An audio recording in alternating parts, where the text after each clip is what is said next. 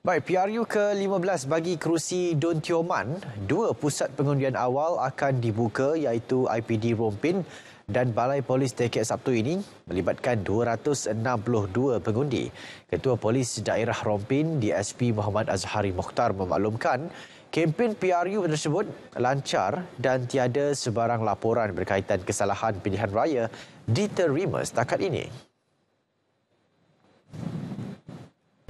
Uh, untuk kekuatan IPD Rompin, uh, kita mempunyai 376 orang uh, untuk digunakan dan sampai itu pihak IPK telah memberi bantuan.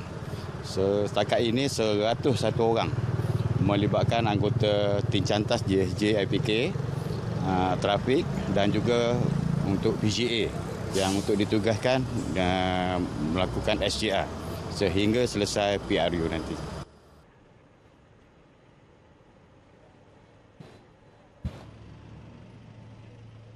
Penugasan anggota dibagikan kepada Zon Kuala Rompin, Zon Tanjung Gemuk dan Zon Pulau Tioman.